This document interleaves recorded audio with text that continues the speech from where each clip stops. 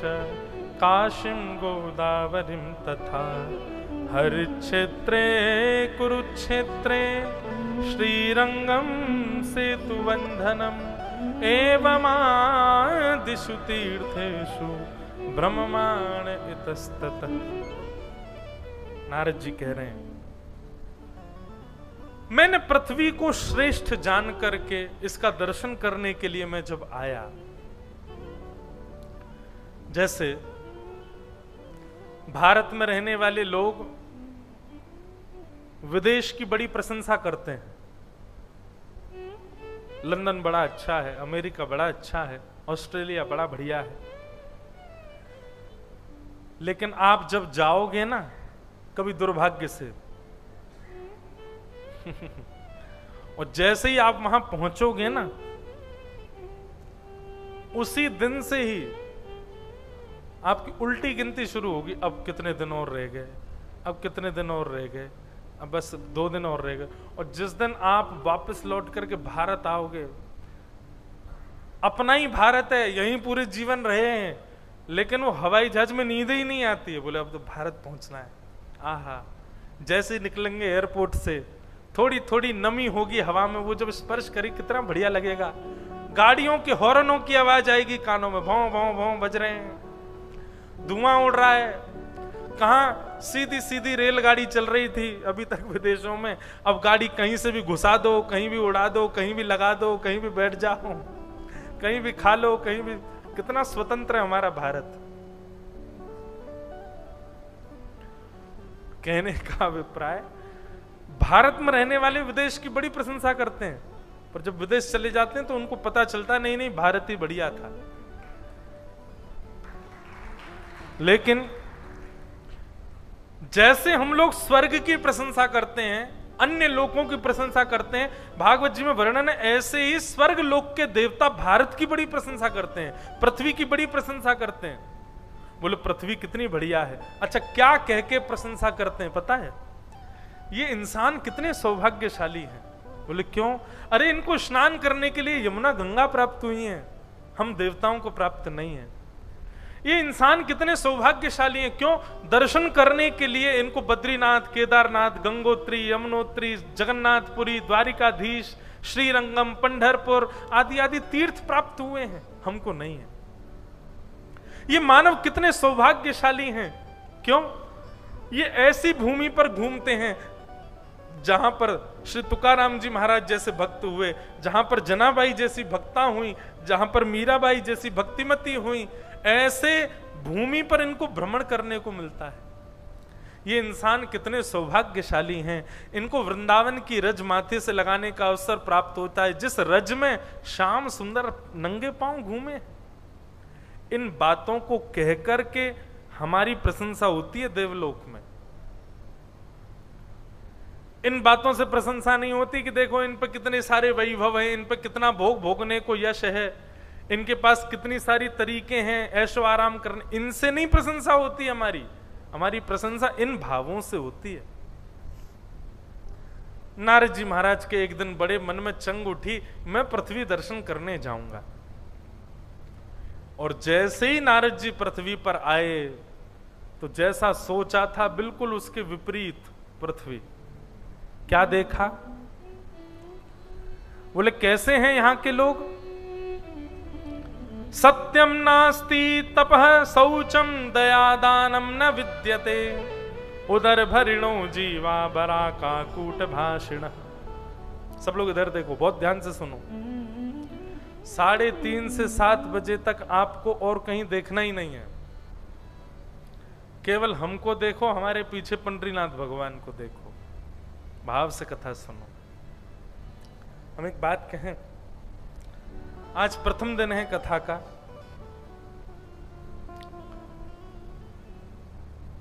कथा वक्ता नहीं सुनाता है, श्रोता वक्ता से बुलवाते श्रोताओं का भाव, श्रोताओं के एक्सप्रेशन श्रोताओं की स्थिति, वो वक्ता से बुलवाती तो इसलिए आप लोग बिल्कुल सावधान और प्रेम भर कर के कथा सुनो।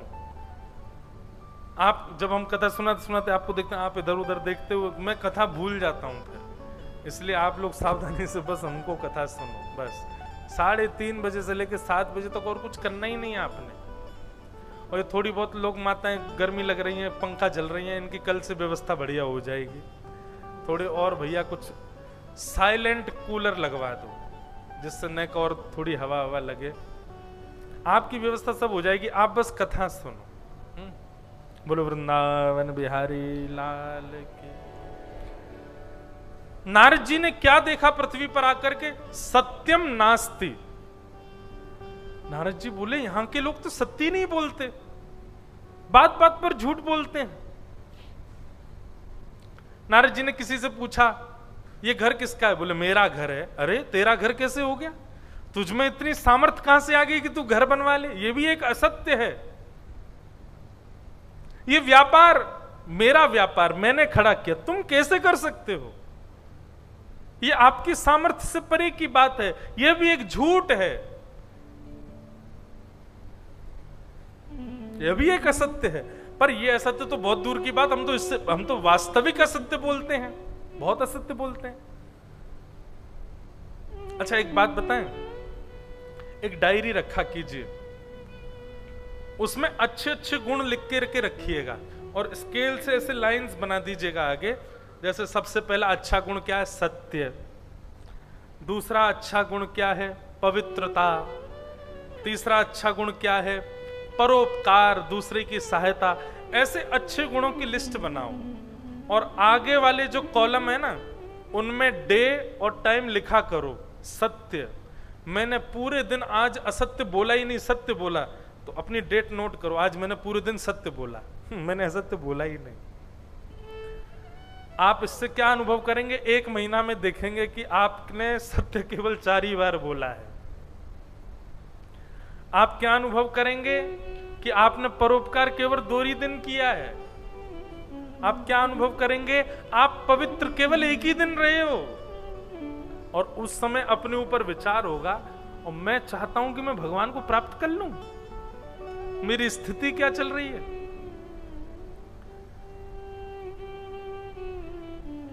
हम लोगों की स्थिति बड़ी खराब है। सत्यम नास्ति। एक भी दिन हमारा ऐसा नहीं निकलता जिस दिन हम किसी से झूठ ना बोलते हों। दूसरा तपह नास्ति। नारद जी कहते हैं, हम तप भी नहीं करते, हम भजन नहीं करते। भजन नहीं, केवल दिखावा है, केवल खाना पूर्ति कर रहे हैं। भजन वास्तव में हमसे बन ही नहीं पाता है। तपह नास्ति शौचम नास्ति, शौच माने पवित्रता। पवित्र नहीं है हम। आप कहोगे, महाराज जी, त्रिकाल नहाता हूँ मैं, तीन बार नहाता हूँ मैं। शुद्ध खाता हूँ, शुद्ध पीता हूँ, शुद्ध पहनता हूँ। अरे, ये तो बाहरी आवरण है। मन की बताओ। मन पवित्र है? बुद्धि में विचारधारा पवित्र है? कुछ पवित्र नहीं है। बाह्य पवित्रता केवल दिखाते हैं हम लोग। हम लोग भीतर से महाअपवित्र हैं। और ये अपवित्रता कब दिखती है हमारी, पता है? हम जिस कार्य को करते हैं, हमसे अच्छा करने वाला हमारे सामने आ जाए। तुरंत हमारी ये पवित्रता दिखाई दे जाती है। हम उसमें चालीस सब गुण देख लेते हैं उस समय। ए, ये तो ऐसा है ये तो वैसा है। क्यों? क्योंकि आप जो करते हो वही वो करता है आपसे अच्छा कर रहा है। आपसे श्रेष्ठ जन दिखते ही आपके अंदर ईर्षा प्रकट हो जाती है। कहाँ गई आपकी पवित्रता? महापवित्र हैं हम लोग। आपके सामने चार बात अच्छी किसी और के लिए कोई कह दे तो आपका बुद्धि आपका मन उसी समय पवित्र हो जाता है। शौचम नास्ति। सत्यम नास्ति तपह नास्ति, शौचम नास्ति, चौथा कहा दया नास्ति। हम लोगों में दया नहीं है। दया भी दिखावे की है। कैसा कैसी दया हमारे अंदर? किसी पर दया कर दी हमने। दया करने के बाद कमरे में जाके, गाड़ी में बैठ के जहाँ जो फ़ोन करेंगे घर वालों को फ़ोन करके बताएँगे। पत्नी को बताएँगे बच्चों को बताएँगे मित्र को बताएँगे। आज वो एक, एक, एक परिवार था वो बड़ा गरीब सा तो मैंने खरीद के दे दिया उनको। चार जगह कभी ऐसा हुआ है कि किसी पर दया की और बिना बताए आप निकल गए हो बिना बताए आपने वर्षों निकाल दिए नहीं। बताने बताए बिना तो हम दया कर ही नहीं पाते।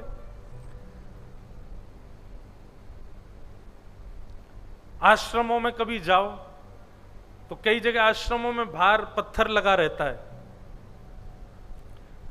अपनी दादाजी की स्मृति में, पिताजी की आज्ञा से, माताजी के कहने से मैंने इस आश्रम में ये कमरा बनवा करके और नीचे अपना एड्रेस लिख देते हैं उसमें।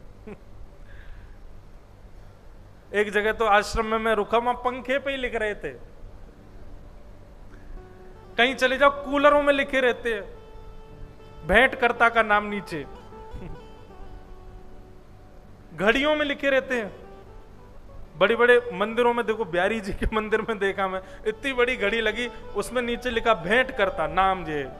काय को? और फिर वही व्यक्ति जिसने भेंट करी ना ब्यारी जी जा रहे हो, घड़ी देखना मैं, घड़ी। ये नहीं कह रहा ठाकुर जी को देखना, घड़ी देखना।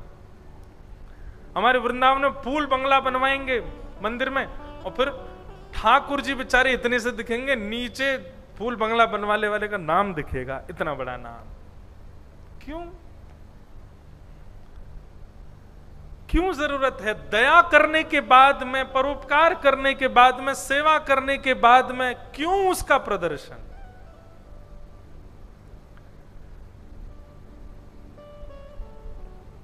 कई लोग मुझे ही पकड़ लेते हैं, बोले, आप कथा का ही प्रदर्शन कर रहे हो? सब जगह दिखा रहे हो, देखो यहाँ कथा चल रही है ऐसे। अरे हमारी कथा कहने से या हमारी कोई सेवा करने से और उसको बताने से चार लोगों के मन में करने का भाव आ जाए तो वो तो ठीक है ना?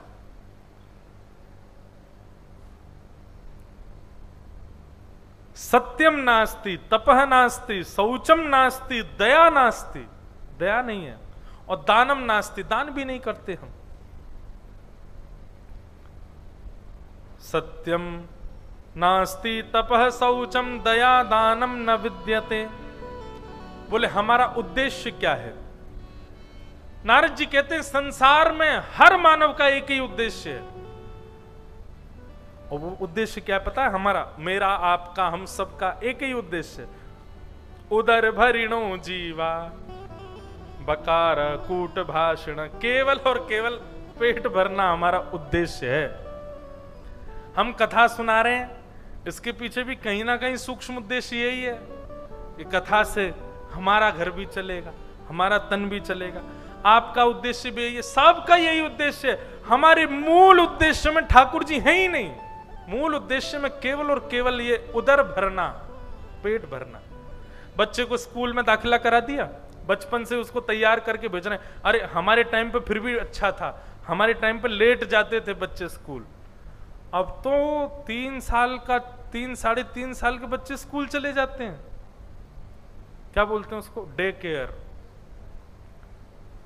डे केयर में जाता है साढ़े तीन वर्ष का बालक। हम्म बहुत खतरनाक टाइम आ गया है। हमारे शास्त्र आज्ञा करते हैं, लालयत पंच वर्षाणी पाँच वर्ष तक तो उस बालक को लाड़ प्यार में ही रखो, उसको कहीं मत भेजो। लेकिन आप लोग भी बाध्य नहीं हैं। मैंने एक एक माता पिता से तो मेरी भैंस हुई, मैंने क्यों इतनी जल्दी भेजते हो? महाराज जी, आप कह रहे हो पाँच वर्ष तक घर रखो फिर स्कूल में एडमिशन नहीं लेते बच्चों का। अगर नहीं भेजो तो। क्या करें? जड़ ही खराब हो गई है तो फिर मंजिल को क्या दोष दें? इमारत को क्या दोष दें? लेकिन इतने से बालक को भी हमने विद्यालय भेजा, लाखों रुपए में एडमिशन कराया, फिर उसके बाद यूनिवर्सिटी भेजा, विदेश पढ़ने भेज दिया। उद्देश्य क्या था? जैसे हम उधर भरना सीख गए, ये भी सीख जाए। उधर भरेणो जीवा। उसको भी उधर भरने के लिए ही हम लोग प्रेरित कर रहे हैं। उधर भरे सोई पाठ पढ़ावे। तुलसी तुलसीदास जी महाराज कहते हैं, उधर भरने की शिक्षा सिखा रहे हैं हम, उसको भी। तो हमारा उद्देश्य यही है, केवल पेट भरे हमारा। पाखंड निरता, संतो विरक्ता स परिग्रह, तरुणी प्रभुता गे शाल को बुद्धिदायक। पाखंड निरताह संतो, बोले भक्ति के नाम पर पाखंड बहुत हो गया है। अच्छा ये बात आज की नहीं है। नारद जी महाराज पृथ्वी पर कब आए होंगे? पाँच हज़ार वर्ष पहले, जब कलयुग प्रारंभ हुआ तब की बात होगी है तब भी नारद जी ने देख लिया कि भक्ति नहीं है केवल पाखंडे लोगों के अंदर। पाखंड निरता संतो। विरक्ता सपरिग्रह बोले, केवल दिखाने के लिए विरक्त हो गए दिखाने के लिए हो गए कि हाँ भाई, हम तो आ सकते नहीं, हमने सब छोड़ छाड़ दिया, घर परिवार। लेकिन बस दिखावे में विरक्त हैं, अंदर से सब कुछ है।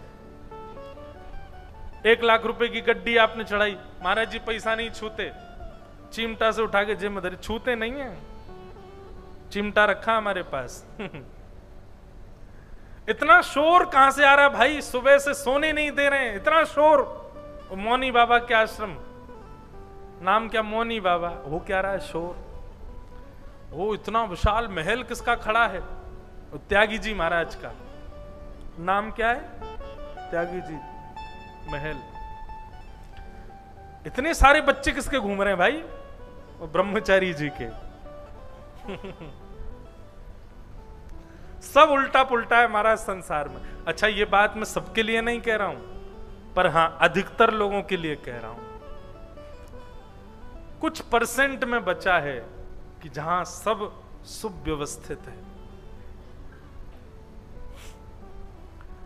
आगे तो बहुत सारी बातें, घरों की भी बातें लिखी हुई हैं, घरों में क्या क्या होता है, अब उन सब पे नहीं बोलना, नहीं तो आप एक दूसरे में दोष देखने लग जाओगे।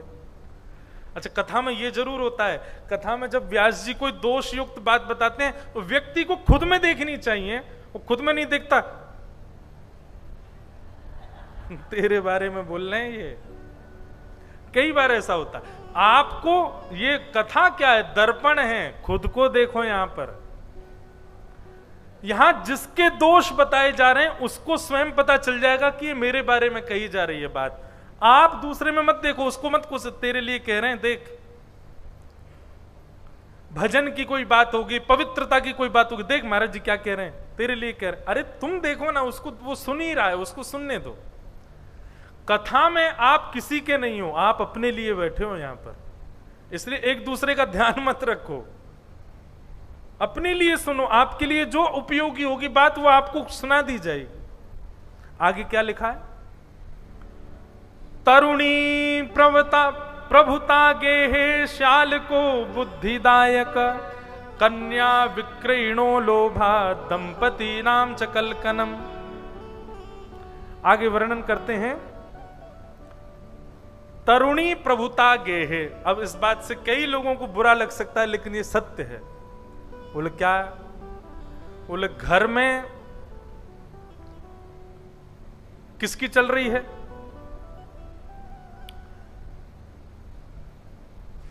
माँ की नहीं चल रही है, पत्नी की चल रही है।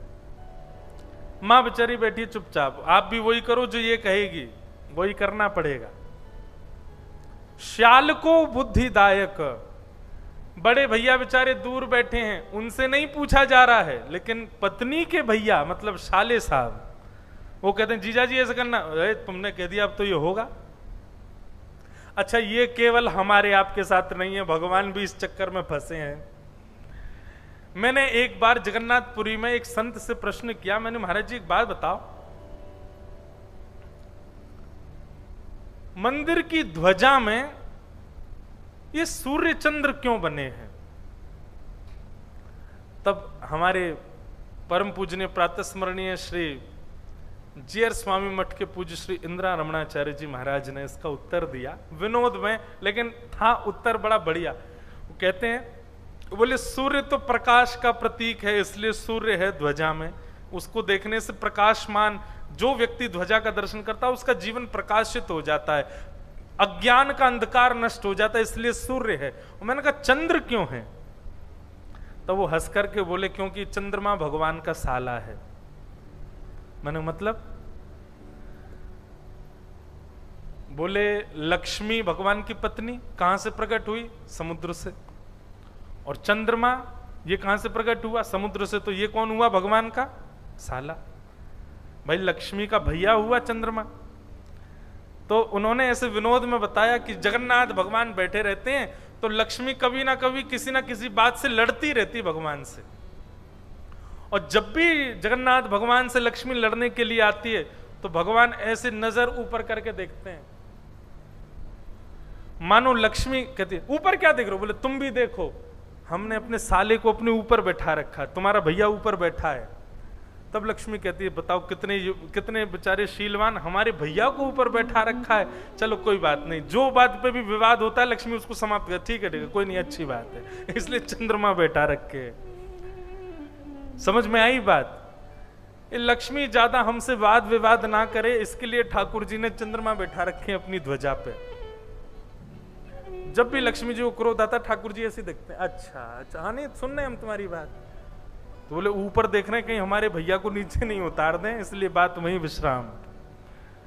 शाल को बुद्धिदायक, अब ये विनोद की बात है, लेकिन संत ने कही ये बात।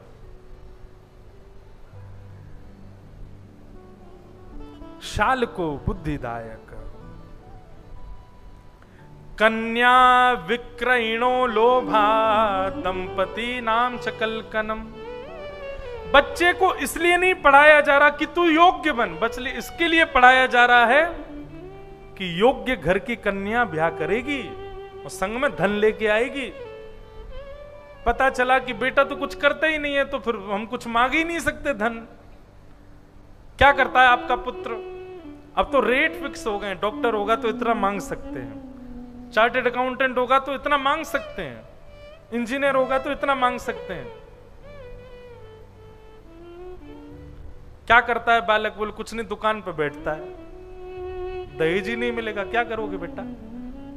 उसको इसलिए नहीं पढ़ाया जा रहा कि तुम योग्य बनो, इसलिए पढ़ाया जाता है, अच्छे घर की कन्या आएगी और धन लेकर के आएगी। अरे विक्रय हो रहा है क्या कन्या का?